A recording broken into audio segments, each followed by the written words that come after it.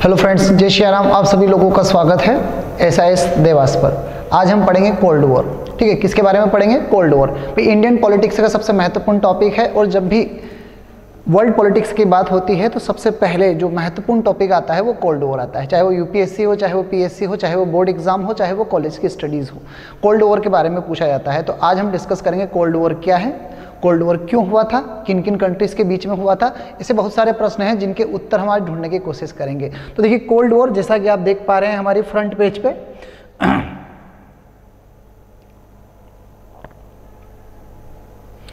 ठीक है, cold war का जो टाइम पीरियड है, वो आप देख लीजिए, कोल्ड वॉर 1945 से स्टार्ट होता है 1991 तक। 1991 के बाद में कोल्ड वॉर पास्ट हो गया। पास्ट क्यों गया? कि कोल्ड वॉर हमेशा के लिए और हो गया। ठीक है तो कोल्ड वॉर क्यों स्टार्ट हुआ था? और 1945 में ही क्यों स्टार्ट हुआ था? 1945 में ऐसा क्या हुआ था जिसकी वजह से कोल्ड वॉर स्टार्ट हुआ? और सबसे महत्वपूर्ण है कोल्ड वॉर होता क्या है साला? क्योंकि कोल्ड और वॉर दोनों ही एक दूसरे के अपोजिट वर्ड हैं। कोल्ड का मतलब होता है रिलैक्स शांत, ठंडा बैठना। वॉर का मतलब होता है लड़ाई झगड़ा ठीक है तो दोनों कनेक्ट होकर एक नया वर्ड बनाते हैं कोल्ड वॉर तो उसका मतलब क्या निकलता है, वो भी हम समझेंगे. तो कोल्ड वॉर का सबसे पहले हम ओवरव्यू देख लेते हैं. अगर आप ओवरव्यू पढ़ेंगे, ये इंडियन पॉलिटिक्स का ट्वेल्थ क्लास की बुक से लिया गया है. ठीक है, यही टॉपिक आपको ग्रेजुएशन में भी मिलेगा, यही आपको पीजी में भी मिलेगा, यही आपको यूपीएससी और पीएससी में भी मिलेगा. तो कोल्ड वॉर जो है एक सेम टॉपिक है. ठीक है अलग अलग बुक्स में आपको अलग अलग तरीके से मिलेगा। तो यहाँ पर ओवरव्यू दिया गया है। ओवरव्यू का मतलब आप समझते हैं, जब कोई सी मूवी स्टार्ट होती है तो कभी कभी क्या है, कुछ मूवी में इंट्रोडक्शन दिया जाता है। जैसे लगान मूवी अगर आपने देखी हो तो बैकग्राउंड में अमिताभ बच्चन की आवाज़ आती है, जिसमें बताया जाता है कि लगान में हम एक ऐसे गाँव को देखेंगे जिनमें कुछ लोगों की समस्या है और सबसे बड़ी समस्या मानसून की है और दूसरी समस्या है टैक्स की। तो वैसे ही कोल्ड वॉर के बारे में बताया गया। अगर आप देखेंगे इतना तो ये जो चैप्टर है, हमें एक बैकड्रॉप देगा। इस पूरी बुक में हम क्या क्या पढ़ेंगे, वो हमको कोल्ड वॉर के माध्यम से पता चल जाएगा, क्योंकि जो पहला चैप्टर है वो कोल्ड वॉर है, दूसरा है एंड ऑफ़ बायपोलरिटी तो जो अगर इस साल के हम सीबीएसई के बोर्ड के सिलेबस की बात करें तो एंड ऑफ़ बायपोलरिटी आ रहा है कोल्ड वॉर नहीं आ रहा है. ठीक है तो कुछ बच्चे ये भी देख के अचरज में पड़ जाएँगे, यार सर कि कोल्ड वॉर क्यों पढ़ा रहे हैं? एंड ऑफ़ बायपोलरिटी क्यों नहीं पढ़ा रहे हैं? तो एंड ऑफ़ बायपोलरिटी आपको तब समझ में आएगा जब आप कोल्ड वॉर पढ़ेंगे।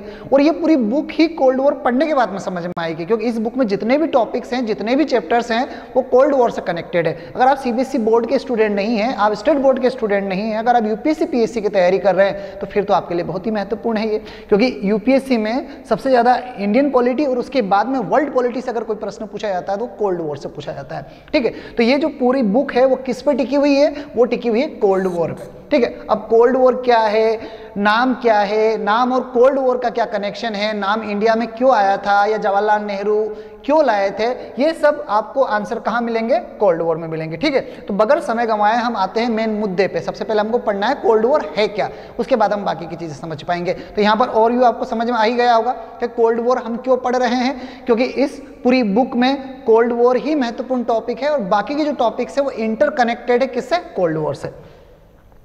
ठीक है, अब क्यूबन मिसाइल क्राइसिस ये भी एक महत्वपूर्ण टॉपिक है। अगर आप कॉम्पिटेटिव एग्ज़ाम की तैयारी कर रहे हैं, भाई साहब, अगर आप जीवन में सपना देख रहे हैं पटवारी बनने का, पुलिस बनने का आईएएस बनने का, या पति बनने का, क्योंकि आजकल पति भी वही बन पाता है, जिसके पास जॉब या गवर्नमेंट जॉब होती है, तब जाकर इंसान पति बन पाता है वरना कुंवारा ही रह जाता है। तो अगर आप जीवन में कुछ भी बनना चाहते हैं तो आपको ये टॉपिक पता होना चाहिए। तो क्यूबन मिसाइल क्राइसिस बहुत ही महत्वपूर्ण है, बहुत ही आई है ठीक है, अगर आप यूपीएससी पीएससी के पेपर उठाकर देखेंगे तो आपको क्यूबन मिसाइल क्राइसिस के एक दो प्रश्न देखने को मिल जाएँगे।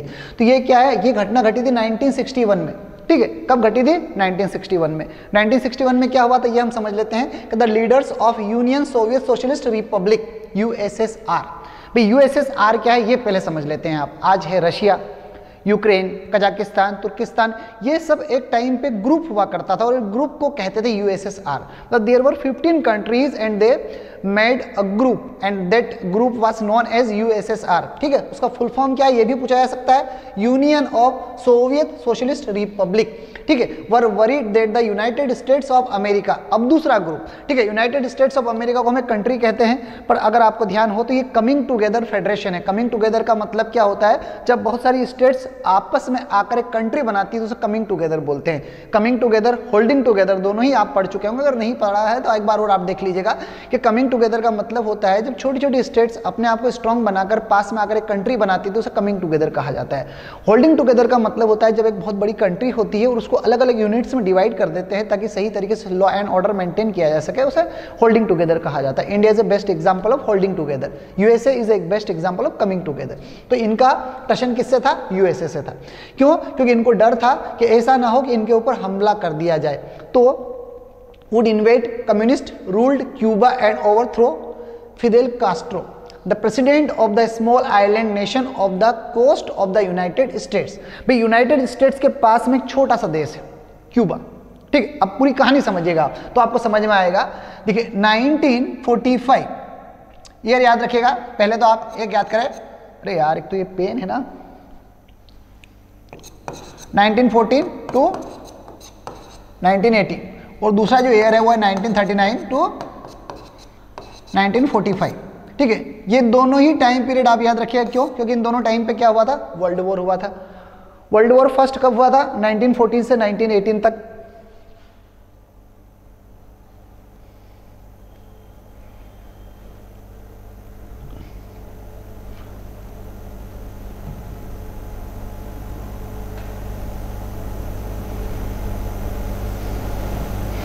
Insert द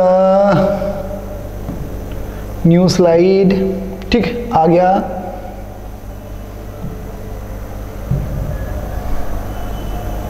हम इसको ब्लैंक पेज पे समझते हैं, ज़्यादा अच्छा रहेगा आप लोगों के लिए, ठीक है? अब पूरा सीन समझिएगा।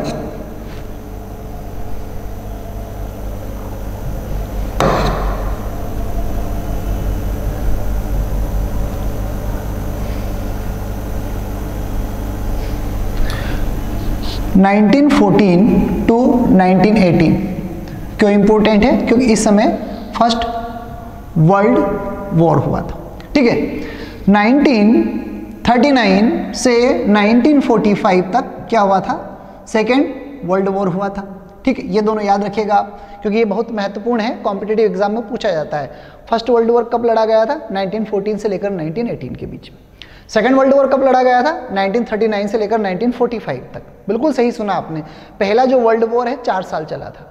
दूसरा जो वर्ल्ड वॉर चला था, वो कितने साल चला था? छह साल चला था।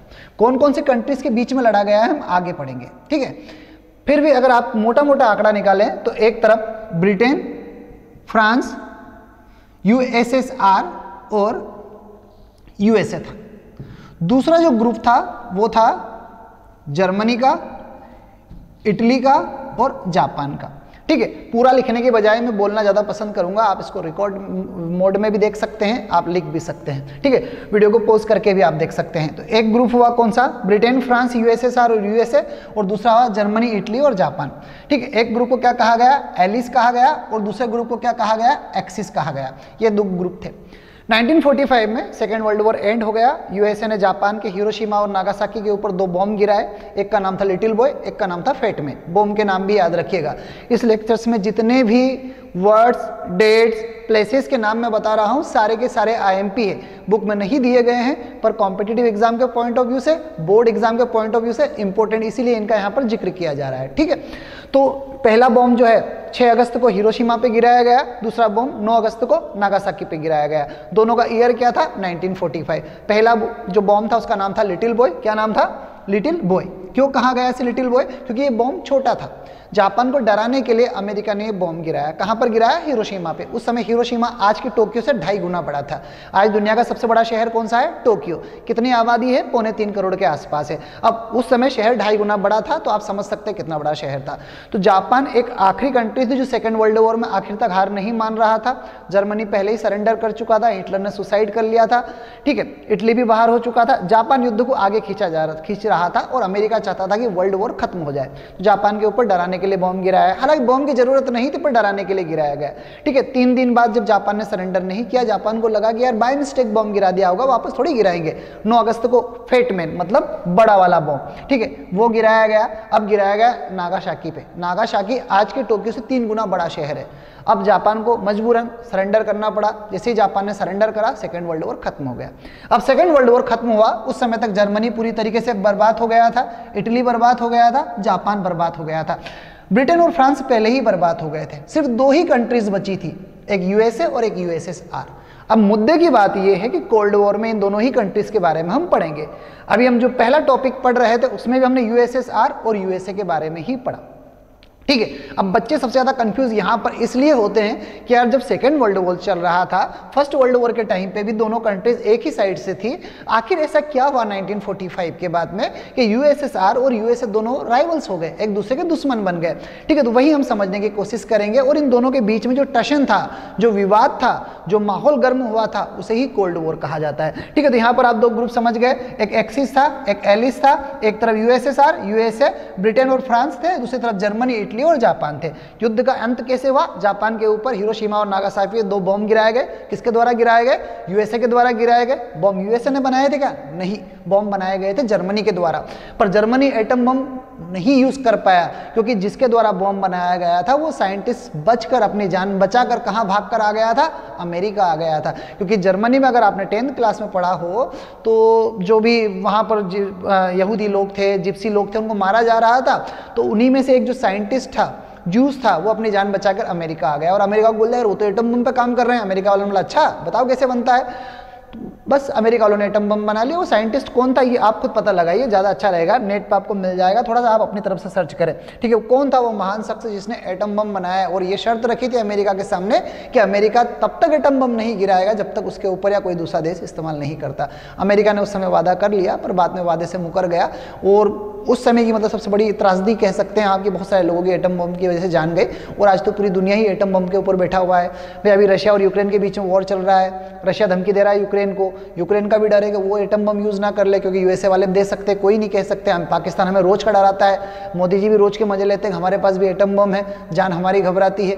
ठीक है, पैसा खर्च करते वक्त हमारे दिमाग में आता है कि भविष्य के लिए बचाएँ, और बाद में टीवी पर खबर देखते हैं और फिर पता चलता है, फ्यूचर ही खतरे में है। क्या पता किस दिन रात में सुतली बम फूटने की जगह एटम बम फूट जाए। और हम ये दिल मांगे मोर की जगह ही इज़ नो मोर हो जाए, कुछ भी हो सकता है। चलिए पॉइंट टू पॉइंट पे आते हैं हम। ठीक है तो यहाँ पर क्यूबा मिसाइल क्राइसिस था। क्यों? क्योंकि एक तरफ़ यूएसए एक तरफ़ यूएसएसआर था। तो यूएसए के पास में क्यूबा है। क्यूबा एक कम्युनिस्ट कंट्री है, जहाँ पर कम्युनिस्ट गवर्नमेंट चलती है। और कम्युनिस्ट गवर्नमेंट कहाँ चलती थी? यूएसएसआर में उस टाइम पे। तो यूएसएसआर की मदद से क्यूबा में गवर्नमेंट बनाई गई थी और उसके प्रेसिडेंट फिदेल कास्ट्रो थे। तो फिदेल कास्त्रो की अच्छी बॉन्डिंग थी किसके साथ? यूएसएसआर के। उसी समय यूएसए को डर था, क्योंकि जो क्यूबा है, वहाँ पर एक मिसाइल मिसाइल तो आप समझते ही होंगे, रॉकेट तरह लॉन्च होती है, उसको इंस्टॉल किया जा रहा था किसके द्वारा? यूएसएसआर के द्वारा। ताकि आसानी से किसके ऊपर अटैक किया जा सके? यूएसए के ऊपर। इसके लिए आपको मैप देखना पड़ेगा। अगर आप मैप देखेंगे ना तो आपको आसानी से समझ में आ जाएगा। शायद हमने मैप इंक्लूड किया है, देख लेते हैं तो ज़्यादा अच्छे समझ में आ जाएगा आपको वर्ल्ड मैप हो तो। नहीं हो तो आप, है ना, अपने स्क्रीन पर भी खोल सकते हैं। ठीक, ये आ गया। देखिए ये है यूएसए ये है मैक्सिको और आपको यही कहीं क्यूबा देखने को मिल जाएगा ठीक है अगर यूएसएसआर देखेंगे तो इस मैप में आपको बिल्कुल दूर दूर तक नहीं दिखाई देगा क्योंकि यहाँ पर यूएसएसआर काफ़ी दूरी पर है तो यहाँ पर मिसाइल इंस्टॉल करना चाहता था कौन यूएसए सॉरी यूएसएसआर ताकि आसानी से किसको टारगेट किया जा सके यूएसए को बस यूएसए इसको प्रोटेस्ट कर रहा था यूएसए ने धमकी दी कि अगर यूएसएसआर यहाँ पर मिसाइल इंस्टॉल करेगा तो यूएसए क्यूबा पे अटैक कर देगा पूरी दुनिया खतरे में, पूरी दुनिया टेंशन में, क्योंकि डर इस बात का था कि यूएसएसआर पीछे हटेगा नहीं। अपनी मिसाइल इंस्टॉल करेगा और यूएसए बदला लेने के लिए किसके ऊपर हमला करेगा? क्यूबा के ऊपर। क्यों क्यूबा का बचाव करने के लिए यूएसएसआर किसके ऊपर हमला करेगा? यूएसए के ऊपर और पूरी दुनिया पहले से ऑलरेडी दो ग्रुप में बटी हुई थी। ठीक है, एक तरफ़ नेटो थे, एक तरफ़ वर्षा वाले थे। कभी भी वर्ल्ड वॉर हो सकता है। और वर्ल्ड वॉर तीसरा जो वर्ल्ड वॉर है, वो ऑब्वियसली किसके थ्रू लड़ा जाना था? एटम बम के। और दुनिया होने वाली थी खत्म। तो इसे ही क्यूबा मिसाइल क्राइसिस कहा गया है। आई होप आप समझ गए होंगे कि क्यूबा एक ऐसी जगह है जो यूएसए के पास में है। वहाँ पर मिसाइल कौन जनरेट करना चाहता चाहता था यूएसएसआर और यूएसए इसको अपने लिए खतरा मानता था, इसलिए धमकी दे चुका था अगर यूएसएसआर पीछे नहीं हटा तो क्या होगा? यूएसए क्यूबा पे हमला कर देगा। हालाँकि ऐसा कुछ हुआ नहीं। आखिर में यूएसएसआर की तरफ़ से ही थोड़ा सा पीछे हटा गया। उन्होंने डिसाइड किया कि ये अभी छोड़ देते हैं, मिसाइल बाद में स्टॉल कर देंगे। जब यूएसएसआर कुछ कदम पीछे हट गया तो अमेरिका भी पीछे हट गया। तो ये जो पूरी न्यूज़ है, वो किससे रिलेटेड है? कोल्ड वॉर से। कोल्ड वॉर का मतलब क्या होता है? अगला जो हमारा टॉपिक है आई होप ये आप समझ में आ गया होगा आपको कि 1961 में ये पूरा मामला स्टार्ट हुआ था। क्यूबा में रशिया या यूएसएसआर क्या करना चाहते थे? मिसाइल इंस्टॉल करना चाहते थे। उस समय निकिता खुशचेव जो थे, वो यूएसएसआर के प्रेसिडेंट थे। लास्ट में काफ़ी लोगों ने उन लोगों से रिक्वेस्ट करी कि वो पीछे हट जाए तो वो पीछे हट गए और यूएसएसआर ने हमेशा के लिए अपना प्लान त्याग दिया। तो ऐसी बहुत सारी न्यूज़ आपको पढ़ने को मिलेगी, ठीक है? ये पूरी उसी से रिलेटेड खबरें हैं। काफ़ी डिटेल में दी गई है, पर मैंने आपको शॉर्टकट में समझा दिया। ठीक है तो अब यहाँ पर अगर आप देखें तो क्यूबन मिसाइल क्राइसिस जो है, वो काफ़ी हाई वोल्टेज ड्रामा था। मतलब लोगों को रात में सोते वक्त ऐसा लग रहा था कि सुबह शायद ही नींद खुले। क्यों? क्योंकि उस समय USSR was powerful country and USS also भाई यूएसए आल्सो दोनों ही देश एक दूसरे को नीचा दिखाने के चक्कर में थे। दोनों ही एक दूसरे को अपने राइवल्स के रूप में ले रहे थे। और इस बात का पूरा यकीन था कि कभी भी थर्ड वर्ल्ड हो सकता है। और थर्ड वर्ल्ड और उस समय ये आप कभी भी अगर हुआ तो दुनिया क्या हो जाएगी? दुनिया हो जाएगी खत्म। ठीक है? आई होप यहाँ तक समझ में आ गया होगा आपको। चलिए, अब हम आगे बढ़ते हैं अगले टॉपिक पे। अब हम आते हैं मेन टॉपिक पे। हम कोल्ड वॉर समझने की कोशिश करेंगे। क्यूबा मिसाइल क्राइसिस समझने के बाद में, और भी समझने के बाद में हमें क्या समझना ज़रूरी है? हमें समझना ज़रूरी है कि ये पूरी कहानी स्टार्ट कहाँ से होती है? ठीक है? तो 1945 में सेकेंड वर्ल्ड वॉर खत्म हो गया, जिसमें दो मेजर सेंटर्स थे पावर के। ठीक है, अगर आप देखें तो पहला यूएसएसआर और दूसरा जो था, वो कौन सा था? वो था हमारा यूएसएस। ठीक है, America soldiers raising the US flag during the battle of Iwo Jima एक लास्ट जहाँ पर युद्ध लड़ा जा रहा था, वहाँ पर दो कंट्रीज़ की आर्मी बची हुई थी। एक तरफ़ यूएसएसआर एक तरफ़ यूएस ठीक है बाकी सारी कंट्रीज़ मैदान से बाहर हो चुकी थी। ठीक है, आप दोनों ही पिक देख सकते हैं। एक में आपको किसका मैप दिखाई दे रहा है? यूएसएसआर का। किसका? ये पेन दूसरा दो यार, ये पेन नहीं चल रहा।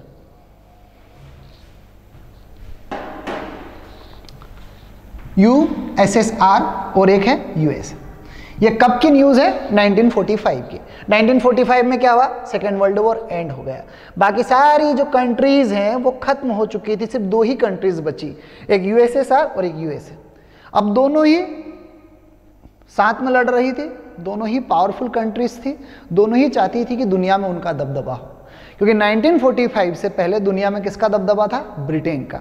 75 परसेंट जो एरिया था वो किसके कंट्रोल में था? ब्रिटेन के। और ब्रिटेन से ये एरिया कंट्रोल में लेने के लिए जर्मनी और इटली ने सेकेंड वर्ल्ड वॉर लड़ा था। ठीक है? पर सेकेंड वर्ल्ड वॉर में हालात कुछ ऐसे हुए कि जर्मनी और इटली तो पहले ही किनारे लग गए और ब्रिटेन फ्रांस बाद में किनारे लग गए। अब इस बात का फ़ायदा उठाना चाहता था यूएसए और यूएसएसआर तो दोनों थे तो मित्र, पर दोनों ये चाहते थे दुनिया को दिखाना कि दोनों ही पावरफुल कंट्री हैं। ठीक है, एक तरफ़ यूएसए ने एटम बम गिराया जापान में, जैसा कि मैंने अभी आपको बताया, और उन्होंने दिखा दिया कि हम सब जो लड़ेगा उसके ऊपर हम एटम बम गिरा देंगे। दूसरी तरफ़ यूएसएसआर जिसके पास दुनिया की सबसे बड़ी आर्मी थी एडवांस हथियार थे, सबसे बड़ी इकोनॉमी थी, और जिसको कह सकते हैं ना, आयरन पॉलिसी लेकर चलते थे, वो भी पीछे हटने के लिए नहीं था। तो यहीं से कंपटीशन स्टार्ट हो जाता है दोनों ही कंट्रीज़ के बीच में। दोनों एक राइवल्स के रूप में सामने आए, और दोनों ही चाहते थे एक दूसरे को नीचा दिखाएँ। बस यहाँ से सरकमस्टेंस स्टार्ट हुए, और यहीं से स्टार्ट होती है कहानी कोल्ड वॉर की। तो ये ओवरव्यू था कोल्ड वॉर का हमारे पहले लेक्चर में, जिसमें हमने पढ़ा कि कोल्ड वॉर कैसे जनरेट हुआ कौन कौन सी कंट्रीज़ के बीच में जनरेट हुआ। अगला जो हमारा लेक्चर रहेगा, उसमें हम पढ़ेंगे what is Cold War and what were the causes of Cold War and what were the effect of Cold War. Thank.